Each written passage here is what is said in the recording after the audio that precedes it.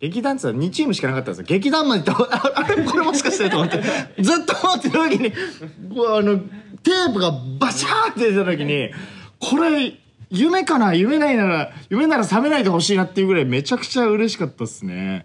あの光景はね忘れられない。あの人って嬉しい時結構飛び跳ねるんだなって。でもあの時こうやってじゃあ発表しますって上川隆也さんがおっしゃった時にこうやって俺の前に移動式のカメラがザーってきたの。